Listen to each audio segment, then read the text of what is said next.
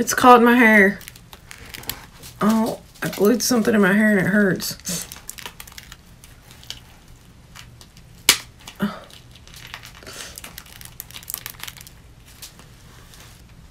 Rip it like a band-aid.